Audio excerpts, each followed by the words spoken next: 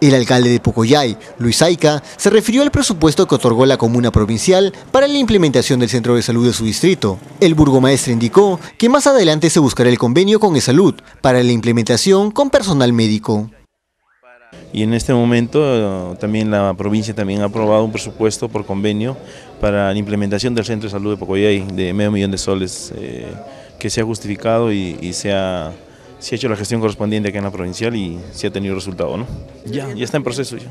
Mire, con esos 500 mil soles, lo primero es que la implementación de la parte elemental, ¿no? O sea, lo que se ha quedado justamente con los trabajadores de, de salud eh, del CLAS, que la primera parte va a ser todo lo que compete a lo que necesitan inmediatamente o lo que está operativo en este momento.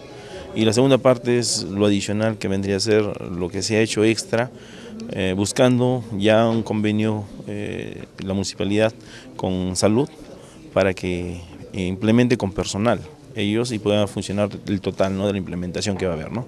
Pero este año se implementa totalmente, eh, medio millón por la parte de la provincia y un millón por parte del distrito, para hacer el presupuesto total de implementación.